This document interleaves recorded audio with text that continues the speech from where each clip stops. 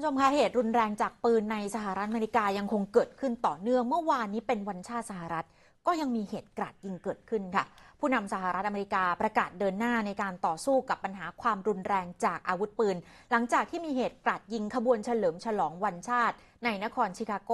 ทำให้มีผู้เสียชีวิตไปแล้วอย่างน้อย 6 คนล่าสุดตำรวจควบคุมตัวผู้ต้องสงสัยว่ามีส่วนเกี่ยวข้องกับเหตุการณ์กราดยิงได้แล้วค่ะ ตำรวจสหรัฐตรวจสอบรถยนต์ของโรเบิร์ต อีครีโมเดอะเติร์ดวัย 22 ปี ที่เป็นผู้ต้องสงสัยว่ามีส่วนเกี่ยวข้องกับเหตุกราดยิงขบวนเฉลิมฉลองวันชาติสหรัฐ ที่จัดขึ้นในไฮแลนด์พาร์คแถบชานเมืองชิคาโก รัฐอิลลินอยส์ชายคนดังกล่าวถูกตำรวจควบคุมตัวเอาไว้ได้ หลังจากที่ขับรถหลบหนีออกจากจุดเกิดเหตุไปประมาณ 8 กิโลเมตร เบื้องต้นเจ้าหน้าที่ยังไม่ได้ตั้งข้อกล่าวหากับชายคนนี้ค่ะ และยังไม่ทราบแรงจูงใจในการก่อเหตุ ขณะที่เจ้าหน้าที่พบปืนไรเฟิลบนหลังคาของร้านค้าแห่งหนึ่งใกล้จุดเกิดเหตุด้วย สอดคล้องกับการสันนิษฐานก่อนหน้านี้ที่คาดว่าผู้ก่อเหตุ น่าจะยิงปืนลงมาจากหลังคาของอาคารใกล้กับจุดเกิดเหตุ เหตุสะเทือนขวัญครั้งนี้ทำให้มีผู้เสียชีวิตไปแล้วอย่างน้อย 6 คน บาดเจ็บอีกมากกว่า 30 คน และยังสร้างความหวาดกลัวให้กับผู้เข้าร่วมเดินขบวนอีกหลายร้อยชีวิต ซึ่งก็รวมถึงพ่อแม่และเด็กๆ อีกจำนวนมากที่ต้องวิ่งหนีเอาชีวิตรอดหลังเสียงปืนดังขึ้น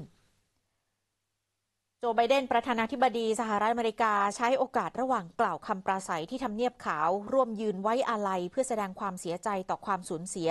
พร้อมทั้งให้คำมั่นว่าจะต่อสู้กับปัญหาความรุนแรงจากอาวุธปืนในประเทศต่อไป โดยระบุด้วยว่ารัฐบาลกลางเสนอจัดส่งความช่วยเหลืออย่างเต็มที่ ไปยังชุมชนที่ได้รับผลกระทบจากเหตุกราดยิงในครั้งนี้แล้วปีนี้สหรัฐเผชิญเหตุกราดยิงบ่อยครั้งมากขึ้นนะคะ รายงานของ Gun Violence Archive พบว่า เหตุการณ์นี้เป็นเหตุกราดยิงครั้งที่ 308 ของสหรัฐ นับตั้งแต่ต้นปีที่ผ่านมาค่ะขณะที่หน่วยงานท้องถิ่นในเมืองแอครอนในรัฐโอไฮโอนะคะก็ได้เข้าไป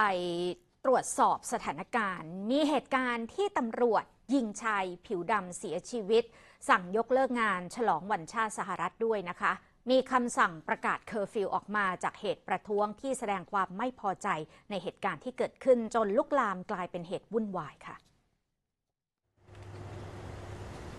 ทางการเมืองแอครอนรัฐโอไฮโอ ประกาศภาวะฉุกเฉินตั้งแต่เมื่อวานนี้ตามเวลาท้องถิ่นค่ะ ออกกฎห้ามออกนอกเคหสถานในยามวิกาลตั้งแต่ 21 นาฬิกาจนถึง 6 นาฬิกาจนกว่าคำสั่งจะเปลี่ยนแปลง ทางการได้สั่งยกเลิกการแสดงดอกไม้ไฟในโอกาสวันชาติสหรัฐ เนื่องจากมีเหตุชุมนุมที่จัดขึ้นในช่วงกลางคืน บางจุดของเมือง ลุกลามกลายเป็นเหตุวุ่นวายสร้างความเสียหายคำสั่งมีขึ้นหลังจากประชาชนในเมืองแอครอนพากันเดินขบวนไปตามท้องถนนท้องถนนตั้งแต่ช่วงสุดสัปดาห์นะคะ ประท้วงกรณีที่ตำรวจไล่ล่า และยิงเจลันวอลเกอร์ ชายผิวดำวัย 25 ปี ซึ่งมีอาวุธปืนอยู่ในรถ แต่ไม่ได้พกอาวุธติดตัวจนเสียชีวิตเมื่อวันที่ 27 มิถุนายน ผู้ชุมนุมจำนวนมากเคลื่อนไหวเรียกร้องความเป็นธรรมให้กับผู้เสียชีวิตนะคะ หลังจากที่เจ้าหน้าที่เผยวิดีโอเหตุการณ์ที่เขาถูกยิงกว่า 60 นัด ระหว่างพยายามหลบหนีตำรวจที่เรียกให้หยุดรถ จนทำให้ต้องเสียชีวิตในที่เกิดเหตุค่ะ